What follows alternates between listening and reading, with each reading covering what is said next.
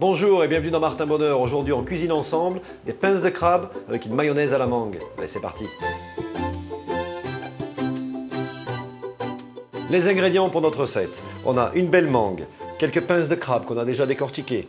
Ici, un petit peu de coriandre, un oignon rouge, de la moutarde et un petit peu d'huile d'arachide. Il nous faut un ustensile pour cette recette, c'est un petit mixeur plongeant pour aller au fond du récipient quand on va mixer, c'est important. Hein.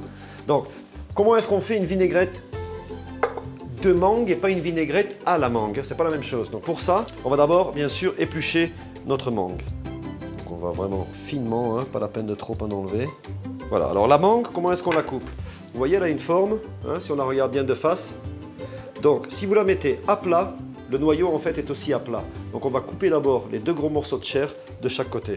Et je vais contourner et je vais le sentir, hein, le noyau. Hop, voilà, il est juste là. Donc là j'ai extrait beau morceau. Donc cette partie-là, en petit dé, hein, de façon à pouvoir la mixer facilement. Vous voyez qu'elle est bien mûre, elle est belle. Ça c'est important, hein, sinon ça ne fonctionne pas. Et celle-ci, on va l'émincer finement, mais pas trop quand même. Vous allez comprendre pourquoi. Regardez, tout simplement, hein, on la fait glisser. Alors soit on referme, comme nous on va le faire aujourd'hui, soit on laisse droit. Ça, c'est au bon vouloir de chacun. Pour réaliser une mayonnaise de mangue, on a notre chair de mangue ici coupée en petits dés. On va mettre deux cuillères à café de moutarde. Voilà, donc vous avez vu qu'on n'a toujours pas mis de jaune d'œuf et on va pas en mettre. Donc maintenant, on va verser un petit filet. Voilà. vous avez vu, on a réalisé une mayonnaise végétale. Je vais maintenant m'occuper de l'oignon. Je veux réaliser de beaux quartiers. Là, j'ai mon petit mikado préadressé. Je vais prendre la chair de crabe sur l'assiette. Voyez, on vient napper comme ça, hein, de façon suffisamment généreuse. Et là, on vient laisser hein, dessus tomber un petit peu nos, petits oignons.